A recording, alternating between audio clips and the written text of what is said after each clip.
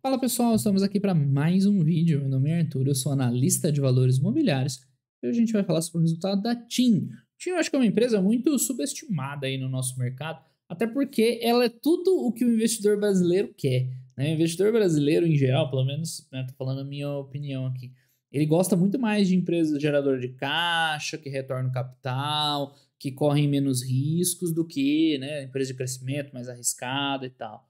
Não sei se isso é uma herança, já falei disso em live, eu acho. Que é uma herança de uma época que, cara, a nossa bolsa era muito pobre em ações. Quem investe aí há menos de 10, 5 anos não faz ideia disso, mas há uns 15, né, nem tanto tempo atrás, cara, o Ibov era basicamente, tinha as empresas de commodities, né, que a maior parte está aí até hoje. Bancos, a gente tinha vários outros bancos, né, o mercado bancário deu uma consolidada, então tinha mais banco.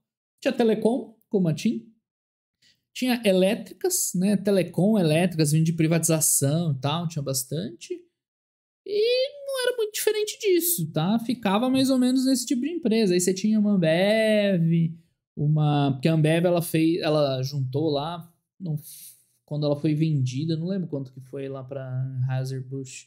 Mas enfim, tinha o Souza Cruz, que era uma empresa tradicional, que saía um pouco disso. Mas era muito pouca empresa, assim, de negócio, de coisas visionárias, interessantes de crescimento, de evolução. Era muito mais ali, ó, geração de caixa e tal. Talvez por isso que até hoje tem tanto apego a dividendo, essas coisas. Mas enfim, a TIM é tudo o que esse investidor quer, tá? Por quê? Não preciso nem explicar o negócio da TIM em si, né? É uma marca super conhecida aí do nosso dia a dia, trabalha com telefonia móvel, no celular, embora tenha lá fixa, né, banda larga agora com, com fibra, uns outros serviços associados, mas é basicamente telefonia celular. Tá? E o grande ponto, assim, é que o negócio é muito rentável, tá? Ele dá muito dinheiro. Né? Então, ela tem uma receita na casa de 20 bi com EBITDA de 10, então é um negócio rentável, receita muito, tem um lucro operacional bem grande, tá? Gera muito caixa, a geração de caixa dela na casa de 10 bilhões de reais também. Lembrando, a TIM vale 30 bi, tá? E ela, tirando o leasing operacional, ela não tem dívida, tá? Ela tem bastante leasing operacional, eu já falo disso mais para frente, tá? Mas sem o leasing operacional, ela não tem dívida. Então, é um negócio que gera muito dinheiro. Talvez o pessoal não goste tanto, porque tem os chavões do mercado aí, que empresa de telecom precisa de muito CAPEX. Aí vai estar tá lá no livro do Buffett que empresas de muito CAPEX não são boas. Mas assim, é muito CAPEX proporcionalmente, tá? Porque eles têm um CAPEX elevado? É, 3, 4, 4, 5 bi. Cara, mas ela gera 10, então sobra muita grana, mesmo precisando de CAPEX. Então eu não vejo por que, que o pessoal né, não gosta mais dessas empresas aí. É porque tudo que essa galera das empresas mais robustas quer, né? Negócio sólido, olha quanto a TIM sofreu com a pandemia. Quase nada. Basicamente não caiu nem nenhum indicador aqui. Lucro líquido não é um indicador bom para TIM, tá? Eu já vou explicar o porquê. Se eu falar agora, se eu falar depois, guarda um pouquinho. Eu já vou falar por que o lucro líquido não é a melhor métrica para você avaliar a empresa. Enfim, empresa sólida, passa pela crise tranquilamente, né? Quase não sentiu pandemia, né? Crescendo agora, o mercado está consolidando, já que a Oi teve que né, abrir mão lá dos seus ativos, a TIM pegou uma garfadinha boa de ativos lá, gera muito caixa, distribui bastante provento, e olha que assim, essa distribuição de provento deles é bem abaixo do que da geração de caixa livre. Em relação ao lucro contábil, claro, é um payout de 72%. É, mas em relação à capacidade que ela tem de pagar dividendo, é pouco.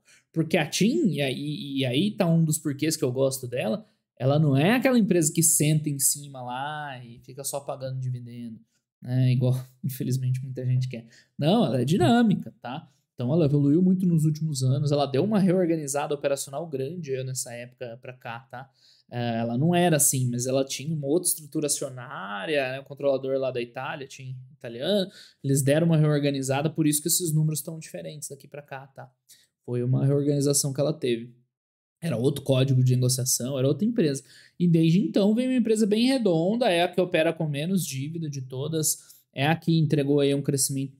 É aqui, né? Basicamente ela é a Vivo no Brasil, porque é claro que o outro grande player nosso é mexicano, né? Lá da, dos Slim.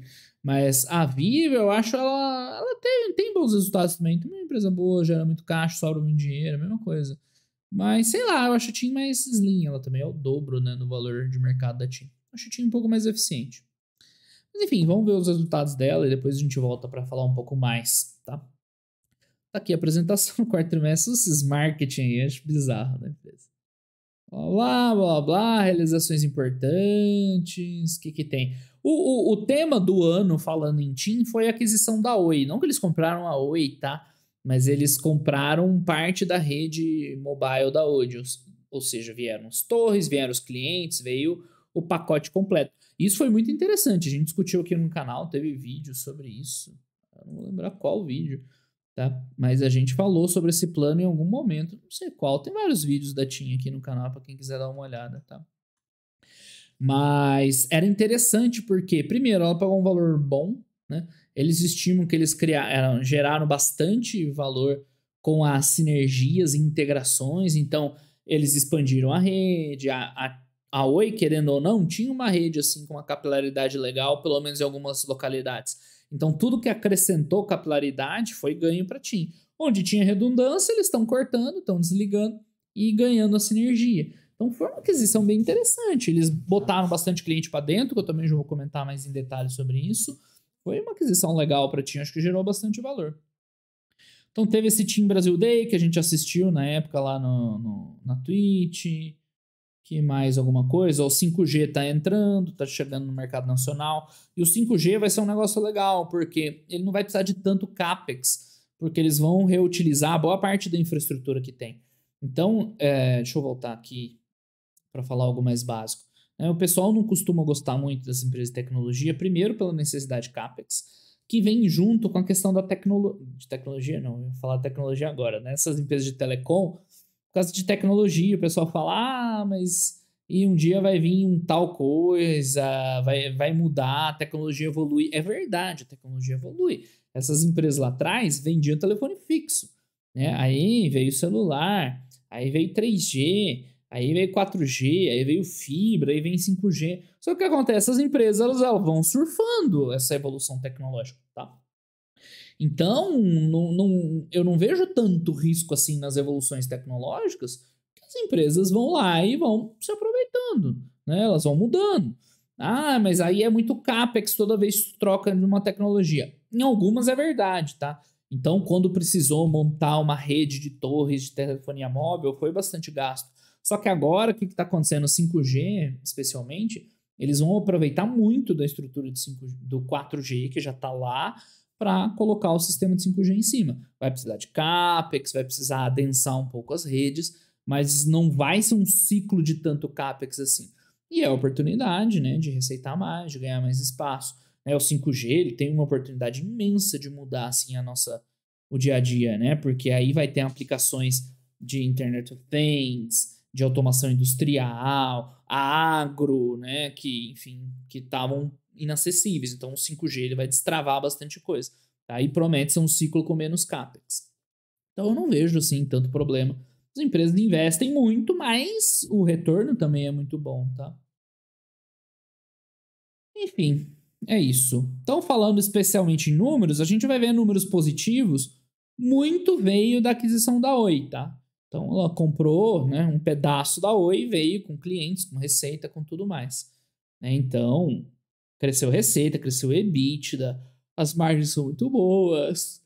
que mais?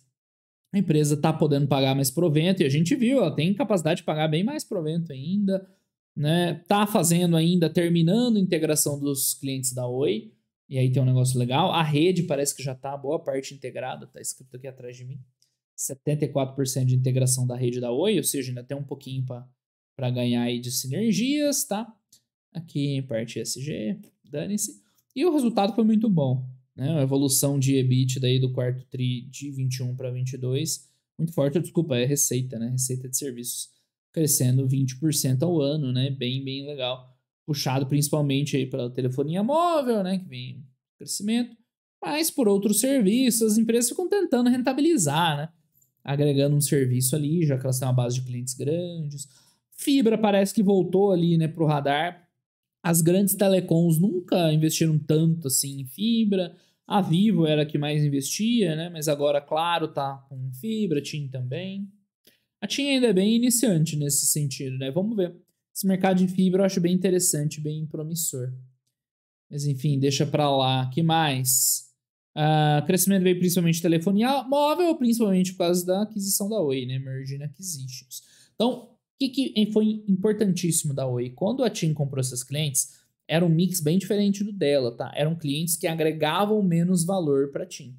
Ou seja, tinham planos mais baratos, coisas do tipo. Então, logo no primeiro momento, ó, despencou o ARPU lá, que é o Average Revenue Per User, né? Despencou, tá? Por quê? Porque ela botou clientes que pagavam planos mais baratos. Então, qual que era o desafio da empresa? Com o tempo e convertendo aqueles clientes né, para um padrão cliente TIM que agregava mais valor para a empresa. E é o que a gente está vendo aqui, ó, já quase chegou no valor pré-aquisição. Né, Isso aqui foi muito interessante, tá? Uma das coisas mais legais desse resultado. O quanto eles estão querendo, conseguindo, desculpa, né? Melhorar a geração de valor desses clientes, seja adequando melhor o plano, seja oferecendo uma qualidade maior, né, fazendo o cliente dar um upgrade, mas a, o fato é que os caras estão crescendo bastante. Outro ponto, né, com o mix Oi veio muito cliente pré-pago, que teoricamente, né, gera menos valor para a empresa, mas eles conseguiram a mesma coisa também. Né? Converter pré para pós, melhorar um pouco os planos. Foi muito bom essa integração, tá? Muito boa mesmo. Porque era um potencial problema. Ah, você vai comprar bastante cliente, mas um cliente está acostumado com um plano mais barato, que não vai dar valor para né, a qualidade da TIM, que pode evadir, né? Porque você não tem tanta fidelidade com esses clientes. Ah, migrou o cliente Oi para TIM, mas ele pode ir lá e contratar vivo. Né? Poderia. Mas eles estão fazendo um trabalho muito bom de reter esses clientes que vieram da Oi, gerando valor, tá? Então, óbvio, tem uma limpeza da base? Então, isso era esperado, porque eles também não queriam esses clientes mais simples e tudo mais, né? que estão dispostos a pagar. Não é que eles não queriam um cliente mais simples, né? Eu falei de um jeito meio escroto, assim, meio elitista. Não, não, eles querem ter valor agregado. Então, ó, teve aquisição no segundo TRI, a base de clientes boom para cima, e depois teve uma limpeza de base, o que é estava no plano já. Mas foi importante eles manterem boa parte dessa retenção aqui. Então foi um resultado bem bom, tá? Achei bem, bem legal. Bem interessante né, o desempenho começará a normalizar, na verdade já está quase lá, né? Bom, muito bom, achei excelente esse desempenho pós-aquisição mesmo dos clientes da Oi, tá? E tem o outro lado, não é só os clientes que entraram, entrou a rede da, da Oi. E isso agregou muito, como eu já tinha falado, ela ganhou mais frequências, ganhou mais cobertura, né? Enfim, então eles ainda estão no processo de integrar a rede, a gente viu lá, né? 75% mas foi um ganho para a TIM na base de ativos também, para aparecer um serviço mais completo né, e tudo mais. Bem interessante. E a partir do momento que eles decomissionarem esses sites, o que, que é isso? Né? É aquilo que eu falei, onde tiver redundância, eles não vão ficar lá né, com dois, duas torres redundantes. Então, eles vão descomissionar, que é isso, exatamente isso. Né? E terminando esses contratos, então, aos poucos vai entrar mais sinergia, né? Pacto de economia de custos. Perfeito, né? Tá muito bom essa integração com a Oi. Então, hoje é a maior cobertura móvel do Brasil, 100% das cidades, enfim, né? 5G vai vindo por aí, maior cobertura 5G por enquanto, né? Ainda é bem inicial tal. O meu, meu celular já pega aqui um sinalzinho 5G, não é sempre, não sei como é que funciona exatamente isso. Enfim, então você vê que eles deram um up de infraestrutura bem legal, né? Bem interessante, melhorou a qualidade da rede, né? A alocação de CAPEX vai ser mais interessante. E o 5G é o que eu falei, abre um mundo de oportunidades, tá? Não para o cliente igual a gente, talvez não seja tão impactante assim o 5G, né? Mas é, para o, o, a, o mercado, o ecossistema como todo, vai ser excelente, tá? Então, o tráfego está passando aos poucos, o 4G para 5G, né? E tem oportunidade de crescimento, está bem atrás de mim aqui, né? Em B2B, novas soluções, novos ecossistemas, novos negócios. É, aí não tem limite, né? Vai abrir muita avenida de crescimento. Enfim, plataforma de clientes, não sei o que lá, seguro saúde. Ah, tá, as parcerias, né? Essas empresas, como elas têm uma base de clientes imensa, como é que era? 68 milhões, é isso? É muita coisa, né? 68 milhões de clientes. O que acontece? Se eles conseguirem embutir ali um servicinho, uma receitinha, beleza, né? Então sempre tem uma outra coisinha ali para tentar oferecer. Se no futuro os caras conseguirem botar algo agregado ali, né? É um ganho bem interessante, né? Enfim. Fibra, aquilo que eu comentei, as grandes telecoms do Brasil nunca botaram, né, investiram pesado em fibra. É mais uma frente de batalha, né? Os caras já têm que lidar com 4G, 5G e tal, né? E, pô, é uma frente nova de batalha, mas pelo visto eles estão interessados ainda, é bem pequena, perto da TIM, né? Dentro da TIM.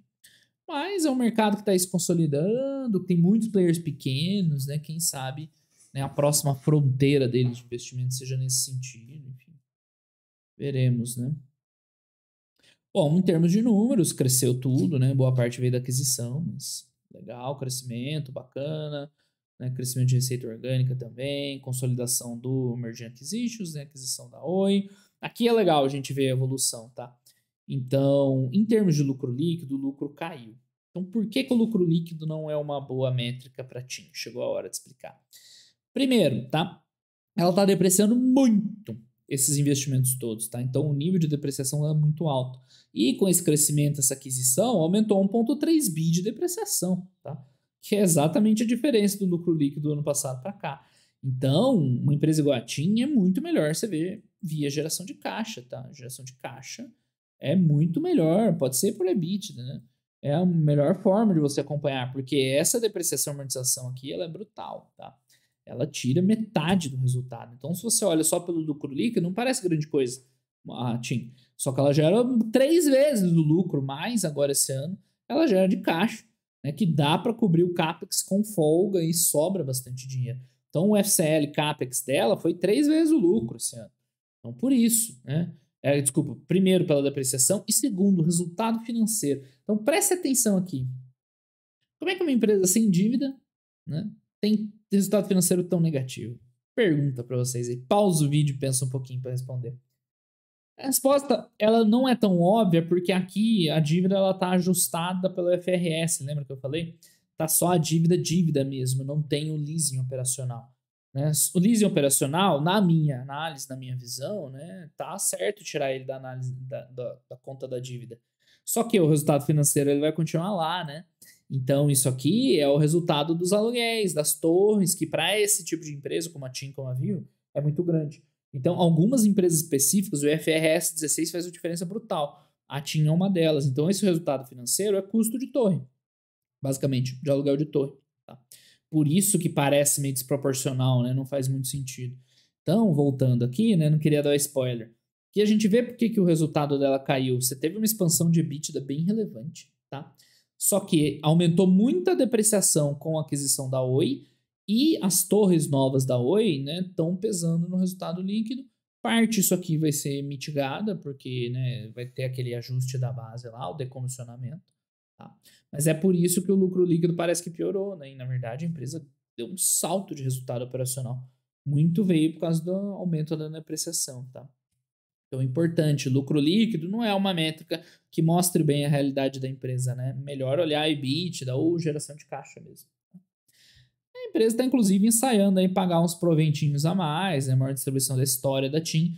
Lembrando que ela é bem ativa em termos de crescimento, investimento, a gente já vai ver nos próximos slides aí. Ou seja, se ela chegar no ponto de maturidade, tem mais espaço ainda para pagar dividendo, tá?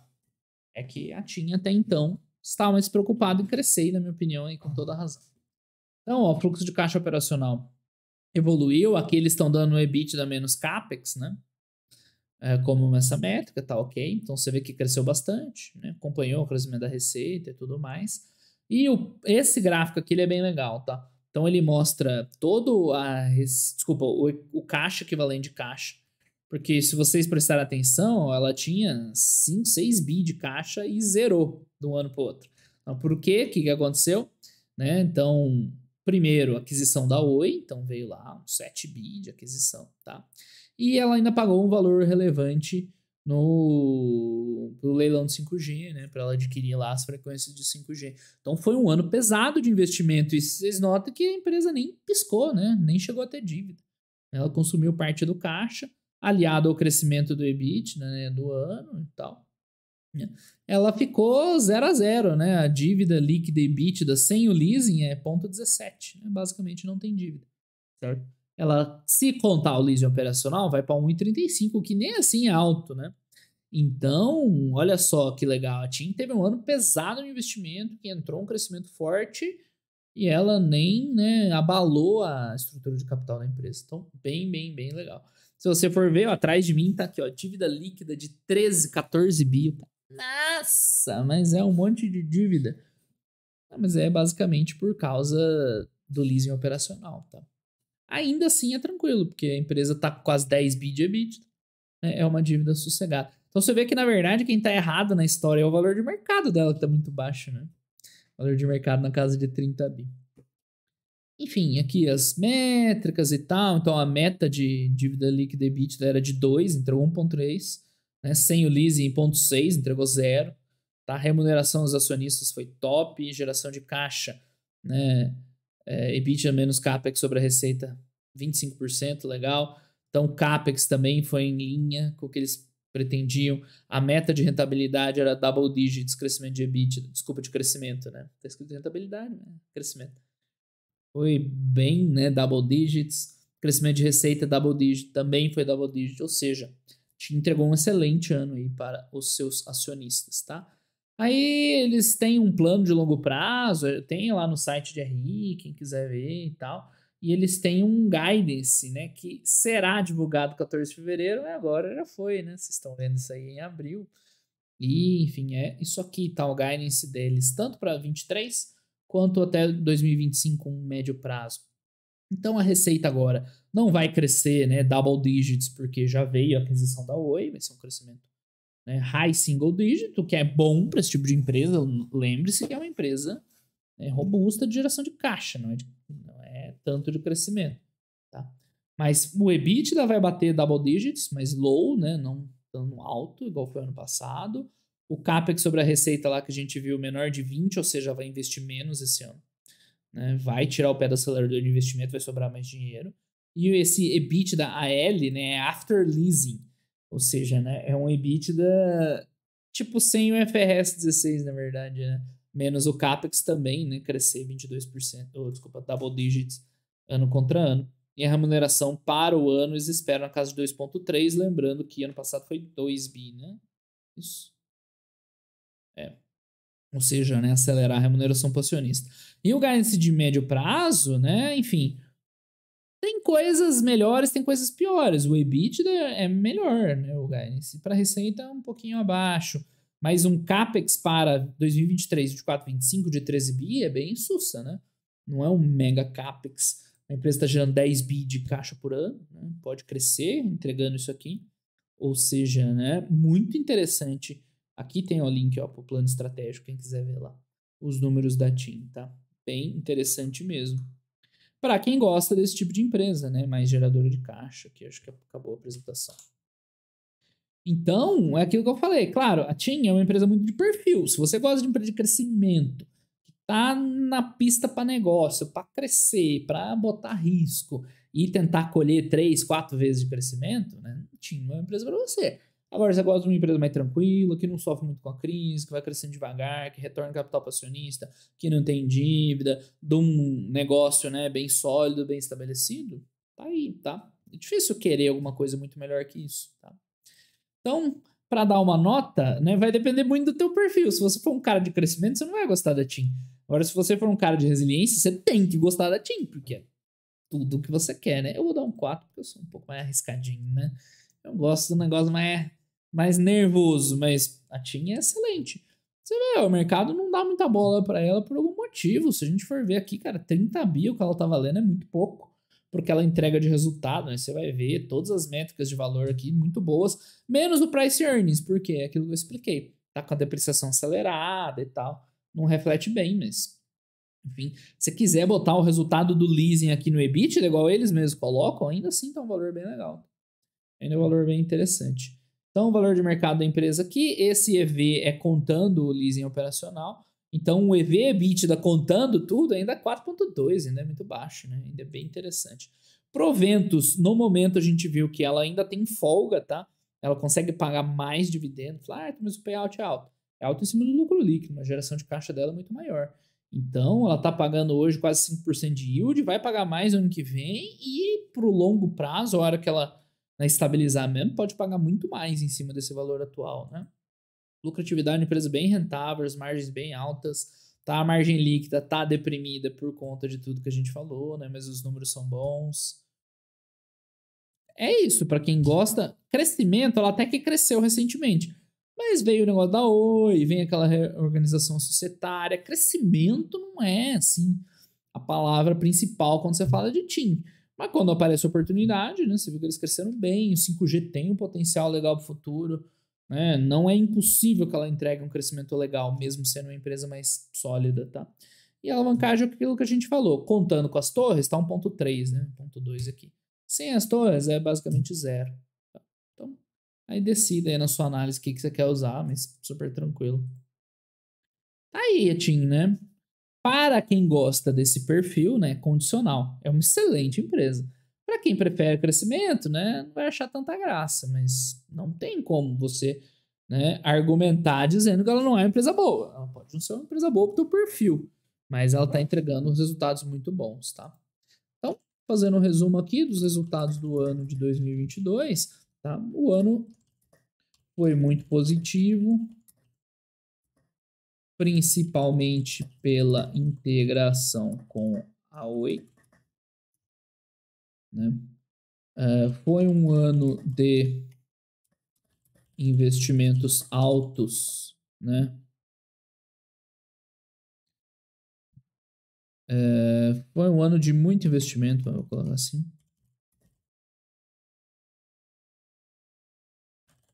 Investimento mas que a empresa continuou sem dívida. Isso é importante, né? Uh, pressão nas margens. A gente nem viu pressão nas margens porque ela recuperou bem com o lance da Oi lá.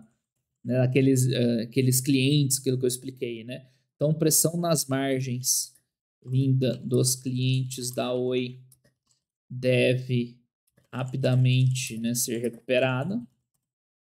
Né, já está sendo recuperado e tal. Então a empresa vai ficar com volume, boa parte do volume pelo menos, e recuperação né, da rentabilidade um pouco maior. Né? E a geração de caixa continua muito forte, suportando os investimentos e ainda propiciando um belo retorno aos acionistas, que é bem maior que aqueles 5% que a gente viu, né? Então, a TIM, para quem gosta desse tipo de empresa, né? A TIM é uma excelente oportunidade para quem gosta de empresas geradoras de caixa e que retornam capital aos seus acionistas. Embora nos últimos anos, assim, ela cresceu um pouquinho mais, não retornou tanto, mas o potencial tá lá e vai chegar mais cedo ou mais tarde, tá? É, para os próximos anos, a empresa deve ter um crescimento mais modesto e mais distribuição de capital distribuição de capital. Ah, mas eu gosto mesmo é de crescimento. Aí TIM não é para você. Ou, enfim, a TIM vai ser uma daquelas poucas empresas com esse perfil. Uh, tem que pôr uma vírgula aqui, né? Tá. Né? Enfim, não é porque você gosta de crescimento é que você não vai ter nenhuma empresa de geração de caixa, né? O ideal é a gente dar uma equilibrada, né? Claro, é, atendendo ao seu perfil. Então, se você gosta de empresas de crescimento, você vai ter mais empresas de crescimento. Mas não deixe. Ah, tá fixado esse comentário. Depois eu vou fixar o meu lá. Vamos roubar e fixar por cima. Eu não sei se ele fica embaixo, se ele fica em cima, enfim. Tá aí o comentário da Tim. Ah, que eu tava falando. Ah, da questão de perfil, né? Eu sou uma pessoa que gosta de, de crescimento forte. Você não vai ter 100% das tuas empresas de crescimento, né? É um, você vai fazer um mix ali. TIM é um exemplo legal ali para uma geradora de caixa para equilibrar. Ou se você tiver um perfil gerador de caixa, uma excelente empresa para ter o teu core da carteira, né? E aí você diferencia com outra coisinha ali depois, tá? Ou enfim, você pode, né, na, não encaixa com o meu perfil e eu prefiro outras empresas geradoras de caixa. Beleza. Né? Não tem nada de errado nisso. Mas ignorar que ela é uma empresa interessante, que ela está no valor legal, que ela tem uns números bons, que ela tem um futuro bacana pela frente, né? Aí não. Esses são os fatos que estão aí nos números que a gente viu. Beleza, pessoal? Então esse foi o resultado da TIM no ano de 2022. Um grande abraço aí para todo mundo e até os próximos vídeos. Valeu!